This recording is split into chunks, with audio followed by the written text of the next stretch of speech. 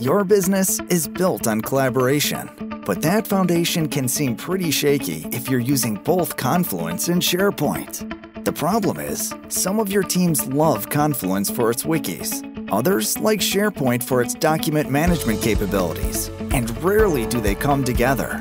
So you end up with big information silos and all kinds of IT headaches. This is not the way collaboration is supposed to work. That's why we built the SharePoint connector for Confluence.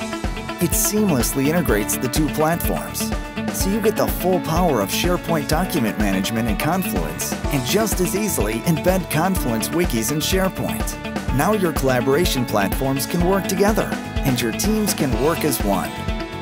Here's how it works. Say you're editing a wiki page for your next meeting and you want to add a presentation. With the connector, it just takes a click to add a macro and embed the presentation from SharePoint right in your page.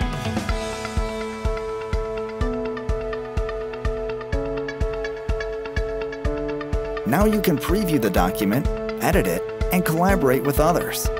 You can just as easily embed SharePoint lists or even entire document libraries. Simply add the project folder to your Confluence page, and you're able to navigate in it just as you would in SharePoint. Best of all, it works the other way around too. You can add any page or blog from Confluence to your SharePoint page, and it's right there for everyone to use. Enterprise collaboration has never been easier or more powerful.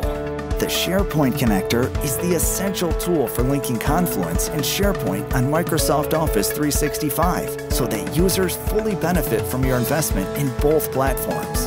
It's available for all Confluence hosting options server, data center, and cloud, as well as SharePoint 2016, 2019, and SharePoint Online. Try it now for free.